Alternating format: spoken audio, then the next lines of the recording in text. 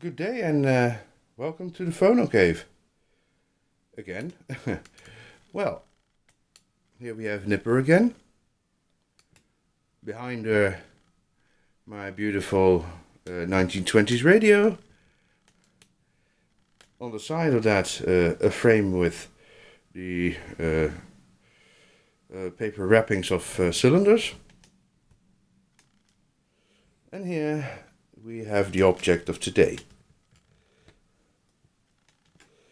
This is a French little uh, reversible phonograph from the Phenix company.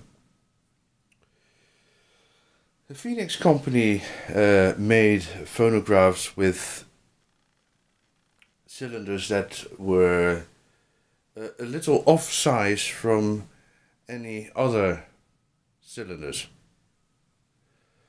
So basically, you know, you can you could buy their phonographs pretty cheap, and then you had to rely on very expensive cylinders for playing.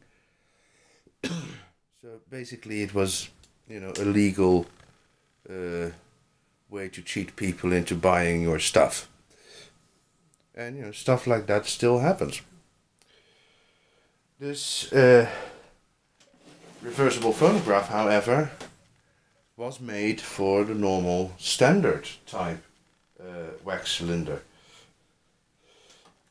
And if we wind it up,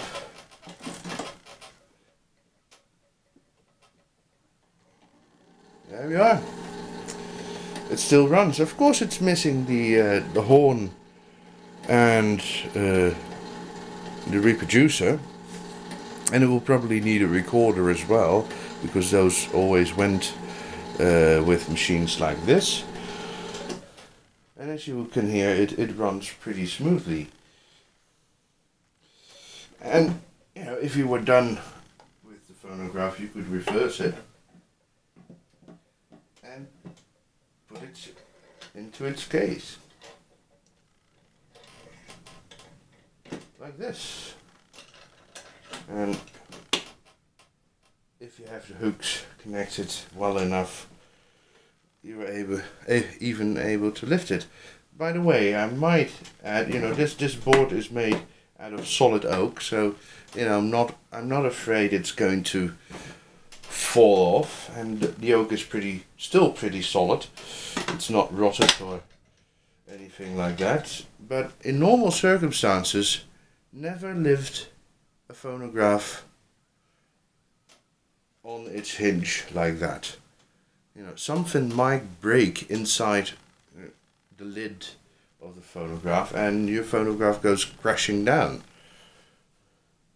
And then you've got a very busted phonograph, which would be a very sad thing.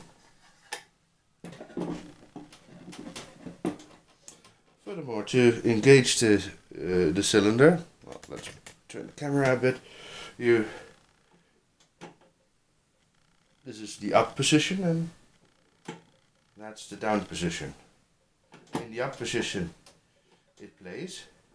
In the down position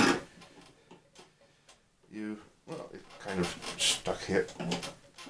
In the up position it's it's loose but it needs to be oiled so it's still you know once there's oil on uh,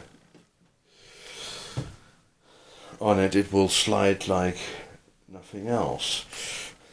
Well, I think that's about it. And yeah, what are we going to say? Are we going to say goodbye? Hello. Oh, she's ignoring us. Anyway, goodbye.